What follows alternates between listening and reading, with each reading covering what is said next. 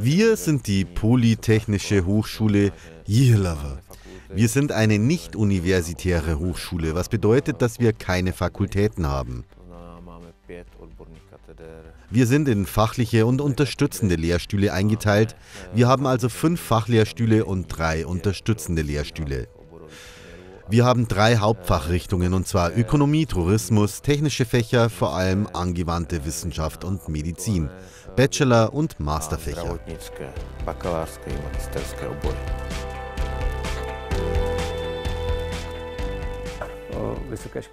An der Polytechnischen Hochschule haben wir die Akkreditierung für ein neues technisches Programm erhalten, das angewandte Technik für Industriepraxis heißt und Maschinenbau mit Elektrotechnik verbindet.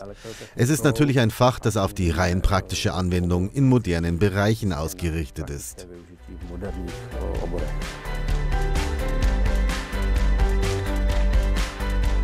An unserem Lehrstuhl für technische Studien arbeiten wir jedes Jahr an einer Reihe von Projekten, an denen sich natürlich auch unsere Studenten beteiligen können.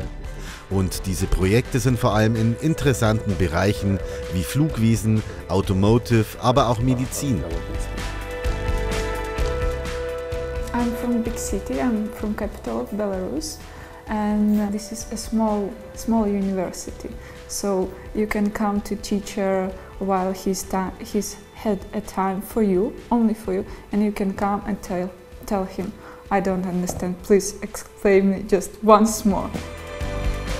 We are trying to prepare students for, for future job, uh, which means that uh, they have to have international experience.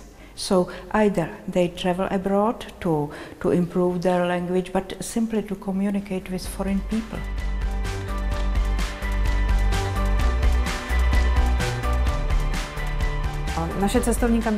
Unser Reisebüro wurde vor allem gegründet, um einen Ort für die Arbeitspraxis der Studenten einzurichten. Dieses Reisebüro funktioniert dabei genau wie jedes normale Büro. Es hat eine Konzession, das heißt, wir können Reisen für die Öffentlichkeit konzipieren. Wir können Reiseangebote anderer Reisebüros weiterverkaufen und ich möchte betonen, dass das eine Rarität ist. Ich weiß von keiner Hochschule, die im Bereich Tourismus ausbildet und einen derartigen Arbeitsplatz hat.